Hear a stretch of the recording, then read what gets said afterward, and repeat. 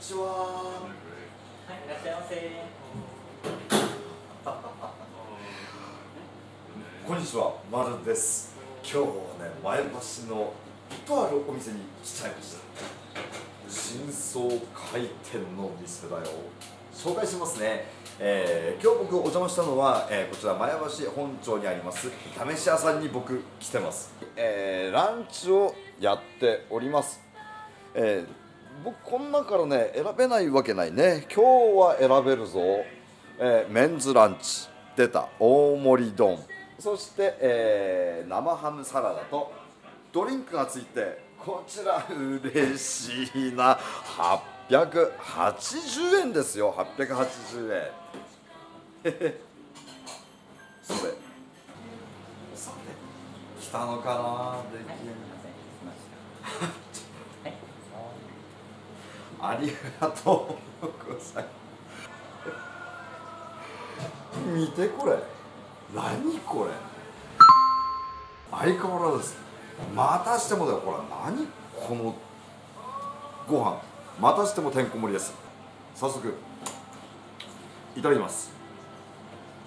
いやーこれはこれはうまそうだぞ。見てこれ。えー、カチャトラフそしてまあいいやね。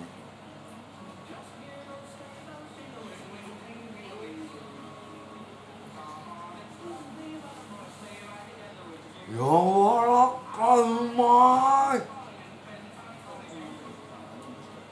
あら。うまい。ご飯にぴったり。も。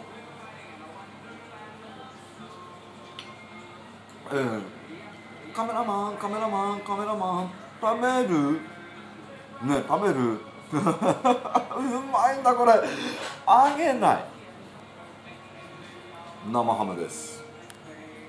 そしてこれが秋田名物生ハゲです。違う。生ハムねうまい。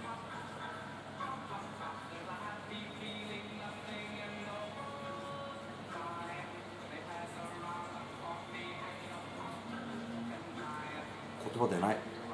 うまい。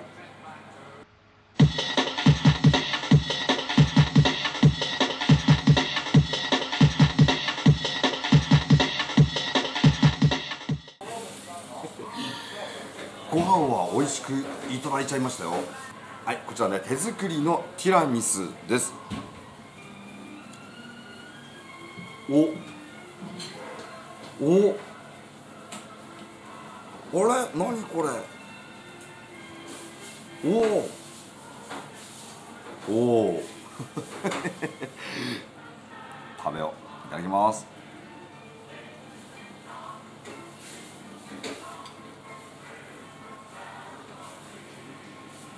大人の味だね。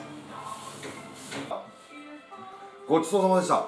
いや非常に美味しかったです。えー、ご紹介いたしますね、えー、オーナー兼シェフでいらっしゃいます、えー、松井さんでございます松井と申します。はじめまして。よろしくお願いします。よろしくお願いします非常に美味しかったんですがこうこだわりとかっていうのはありますか？こだわりは基本的にはそのアレンジしすぎないあのイタリア料理の基本はもちろん守った中でそのもっと周りの人でも食べやすくあその丼にアレンジしてるという部分もありますあと基本的にあの市販の調味料とか嫌いなんであの全部出汁から自前で取って、はい、手作りでできるものだけをお出ししてます。えーというわけでね、えー、全て手作りでございます。で価格の方もですね非常にお財布に優しいよあの個人的に言っちゃうとまあ大体ね2割から3割ぐらいえこの値段で食べれちゃうの？っていう価格設定になっております。